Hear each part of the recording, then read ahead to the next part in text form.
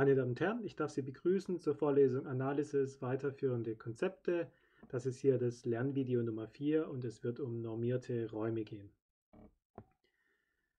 Wir beginnen also dieses neue Kapitel und in diesem Kapitel ist unser Ziel zunächst mal das Konzept der normierten Räume einzuführen. Wir werden dann als wichtigste Erkenntnis feststellen, dass normierte Räume bereits metrische Räume sind und das erlaubt es dann, ähm, den Begriff der Konvergenz auf normierte Räume zu übertragen. Wir schauen uns dann Beispiele an. Wir werden den endlich dimensionalen Vektorraum RD mit der Maximumsnorm ausstatten und den unendlich dimensionalen Raum der beschränkten Funktion äh, mit der Supremumsnorm ausstatten.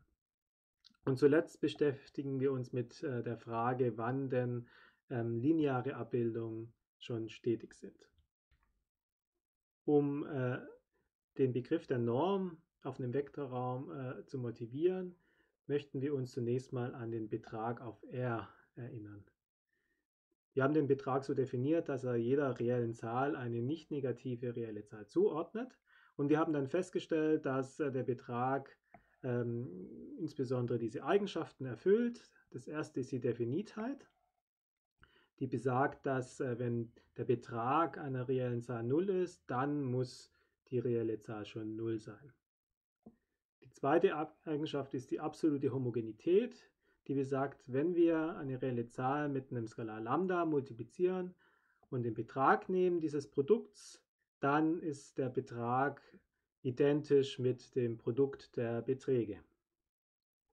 Und dann die, die letzte Eigenschaft, die wir sehr häufig äh, verwendet haben, ist die Dreiecksumgleichung, die eben besagt, dass der Betrag der Summe zweier reellen Zahlen kleiner gleich ist der Summe der Beträge. Wenn wir uns diese zwei unteren Eigenschaften hier anschauen, dann ähm, kommen dort äh, eine Multiplikation vor und eine Addition. Diese Strukturen haben wir ja auf R eingeführt und wir haben auch diese Strukturen auf Vektorräumen. Wir können also Vektoren ja addieren und wir können Vektoren mit einem Skalar multiplizieren und das erlaubt es einem nun äh, diese Struktur des Betrages auf Vektorräume zu verallgemeinern. Und das ist hier passiert in Definition 1.12.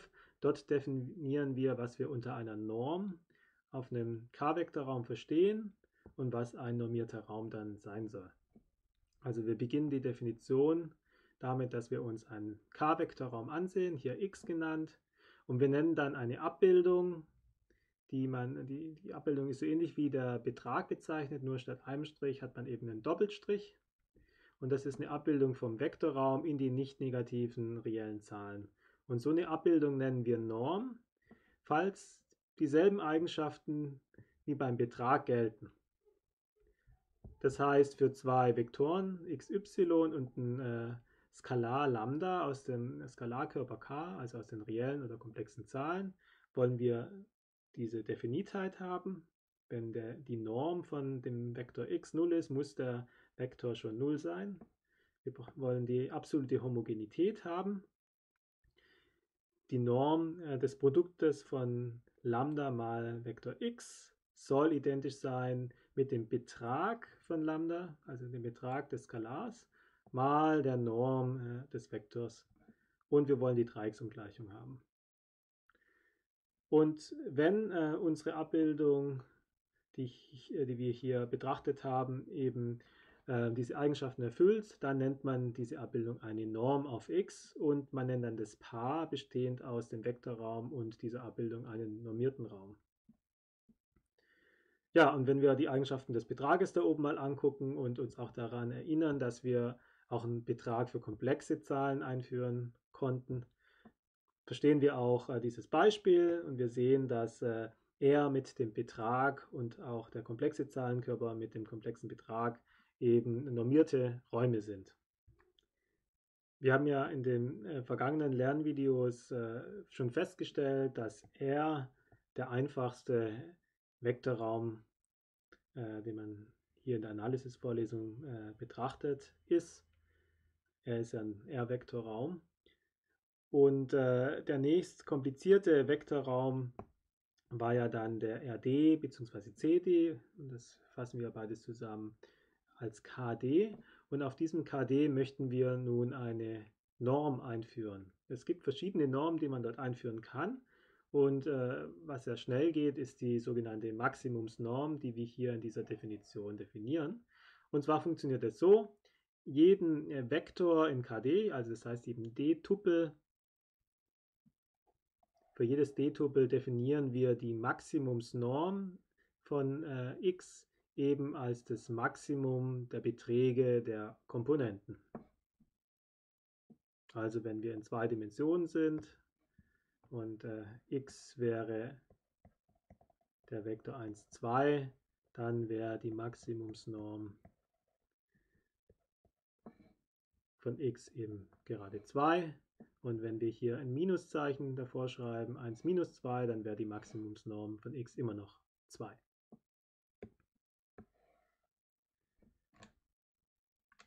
So, und äh, diese Abbildung, die hier definiert ist, äh, ähm, ist tatsächlich eine Norm. Das ist der Inhalt äh, dieses Lemmas, also KD, zusammen mit dieser äh, Maximumsnorm ist ein normierter Raum.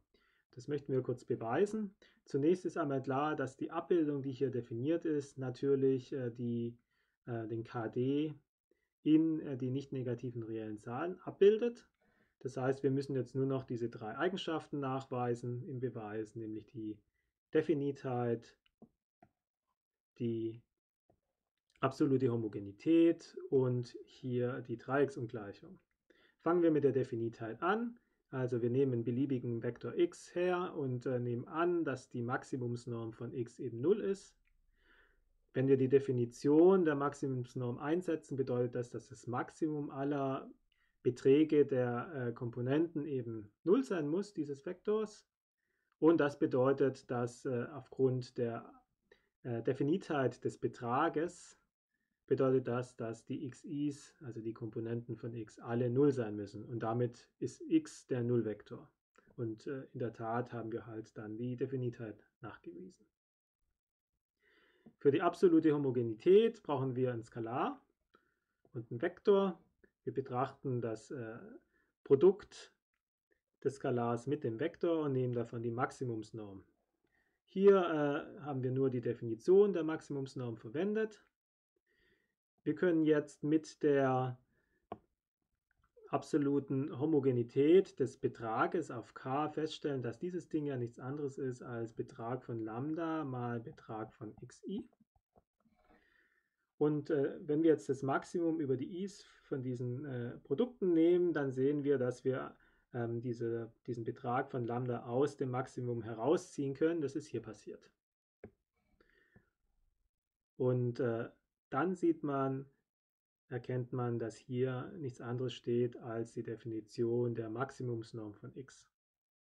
Und wenn man das von ganz links nach ganz rechts liest, haben wir dann eben die absolute Homogenität nachgewiesen. Ja, für die Dreiecksungleichung brauchen wir zwei Vektoren. Wir nehmen die Maximumsnorm der Summe von x und y, setzen einfach die Definition ein und verwenden an dieser Stelle dann die Dreiecksungleichung für den Betrag auf k. Das ist hier passiert. Und wenn wir jetzt äh, das Maximum nehmen von äh, zwei Zahlen, dann ist es immer kleiner als äh, das Maximum des einen Ausdruckes plus das Maximum des anderen Ausdruckes und so äh, erhalten wir dann letztlich äh, ähm, die Summe der Maximumsnormen von x und y. Und damit ist der Beweis zu Ende. Ja, die Maximumsnorm haben wir auf dem d-dimensionalen Vektorraum KD eingeführt. Und das Analogon für einen unendlich-dimensionalen Vektorraum ist die Supremumsnorm, die wir auf äh, dem Vektorraum aller beschränkten Funktionen einführen können. Also, das passiert hier in dieser Definition.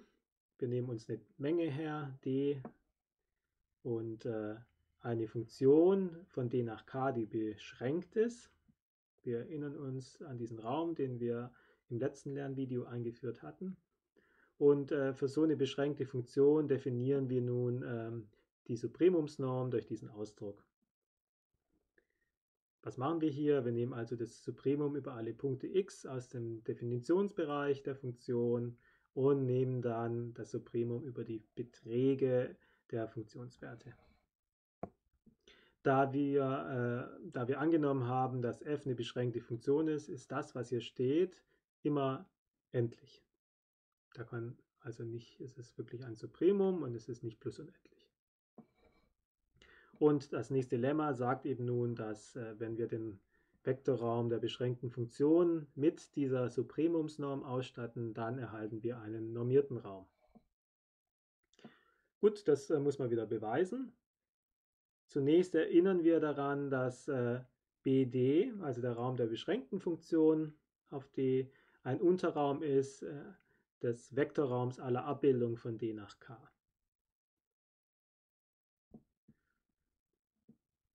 Und äh, das hatte ich schon erwähnt, wenn wir eine beschränkte Funktion haben auf D, dann ist eben die Supremumsnorm von f eine nicht negative reelle Zahl, insbesondere nicht plusunendlich. So, und jetzt müssen wir die, die drei Eigenschaften nachweisen. Wir fangen an mit der ähm, absoluten, äh, mit der Definitheit. Und äh, wir zeigen eigentlich jetzt die Negation, also wenn wir, ähm, wenn wir an die Definitheit denken, dann sollen wir ja zeigen, wenn der Betrag von f gleich 0 ist, dann ist äh, f gleich 0 und die Negation der Aussage ist, wenn der Betrag von f ungleich 0 ist, also er muss dann echt größer 0 sein, dann soll, muss das eine notwendige Bedingung dafür sein, dass f ungleich 0 ist. Okay, fangen wir also an. Wir nehmen an, f ist ungleich 0. Das muss, jetzt muss man kurz überlegen, was das bedeutet. f ist äh, ein Vektor, es ist äh, in BDK, das heißt, es ist eine Funktion und diese Funktion soll ungleich sein dem Nullvektor in diesem Raum und der Nullvektor in diesem Funktionenraum ist die konstante Funktion, die 0 ist. Das heißt, f ungleich 0 bedeutet, dass f nicht konstant 0 ist. Und das bedeutet, es existiert eben mindestens ein Punkt aus dem, im Definitionsgebiet, sodass f von x ungleich 0 ist. f von x ungleich 0 ist gleichbedeutend dazu, und hier verwendet man die Definitheit des Betrages in k, ist gleichbedeutend dazu, dass f von Betrag von fx eben echt größer als 0 ist.